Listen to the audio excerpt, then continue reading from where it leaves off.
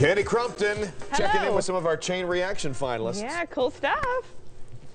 Yes, very cool stuff, Todd and Kristi. This is this is what I love at talking about because we see them start small and then dun dun dun dun, dun they get big. So it's really really cool, especially for us. You know, we see so much uh, stuff that's not happy, but you, when we get to be a part of and see people achieving, well, we love it. Okay, so that's where Elena comes in. Uh, we're here at the old Brooklyn Cheese Factory, which is apropos because he won the same award we're talking about. Good morning. Good morning. Boom, boom, boom. so- thank Congrats. you, thank okay, you. so tell us what happened. Well, we won this year's 2023 Good Food Awards. Thank you very Yes, much. Yes, indeed. Thank you. Let me give you a little curtsy. Yes. and what is the American Good Food Awards? What is that? Uh, so the Good Food Awards is um, an awards put on by the Good Food Foundation, which Mm-hmm. is an American nonprofit company. Um, and they have 18 categories. They uh, do blind tastings on all different types of goods in America. Yeah.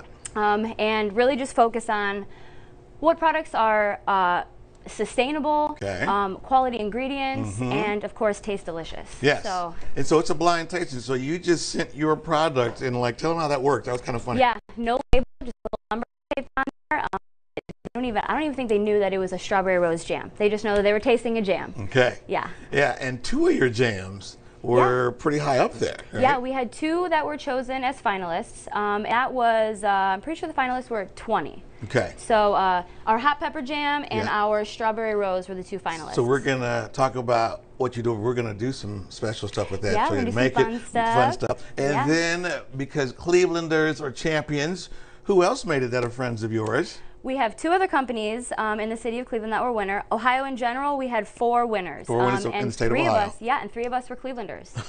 yeah, Love it. so Love way it. to go. Um, we have Fuego Fermentations. Yeah. He won with his habanero hot sauce. Also a Cleveland chain reaction winner. Thank Yep, you. Yep. And? Um, and the Cleveland Chocolate Company. They Yeah. won with their 81% uh, uh, dark chocolate bar. Well, that is so awesome. Yeah, Cleveland, Cleveland, champions, man. it. Yeah. The city of champions. That's right. So we're going to talk about that, hang out with Lana, talk about a product, make some steps for you, how good it is, and then tell you how you can get it because you're a national champion.